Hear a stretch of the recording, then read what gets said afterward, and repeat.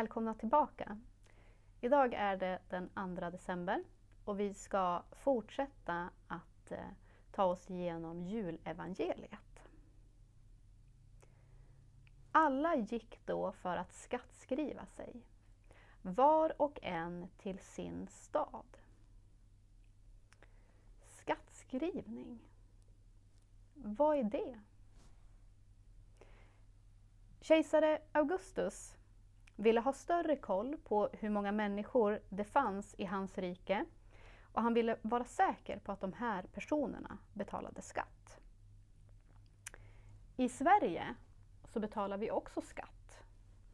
Och redan på 1600-talet så började prästerna att folkbokföra sina församlingsmedlemmar för att veta hur många som fanns i varje församling.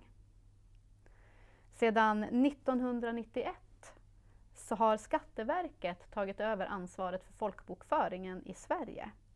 För då slog man samman kyrkoböckerna som prästerna hade gjort med Skatteverkets mantalskrivning som fanns i början av 1900-talet. En av anledningarna till att vi har folkbokföring idag i Sverige är för att samhället lättare ska kunna planera till exempel vart vi ska bygga skolor, vart vi behöver bygga bostäder och vart vi ska planera vägar. De flesta vuxna idag betalar en del av sin skatt till sitt land. Och även här använder vi skattepengarna till mycket av vår egen välfärd. Pengarna går till sjukhusen, till utbildningen, till äldreomsorg, till kultur, till våra pensionärer och till mycket mer. På Jesus tid handlade skatten om någonting helt annat.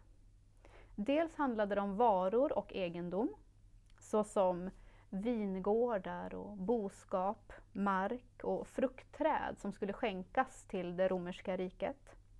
Och sen var det en annan som man kallade för en direkt skatt som ålades alla vuxna män.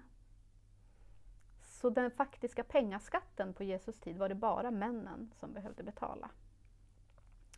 Och de här skattskrivningarna ägde rum på platserna där ens familj och släkt kom ifrån.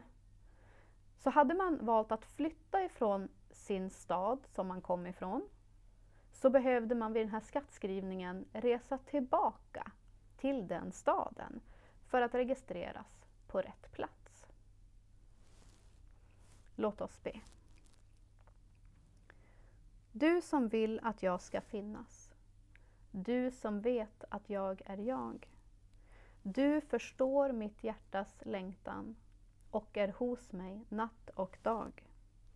Din är jag och all din kärlek får jag varje andetag. Och så får vi be om Guds välsignelse. Gud välsignar oss i namn av honom som kommer till vår längtan. Konungen av hoppet, bäraren av Guds kärleks ljus. Amen.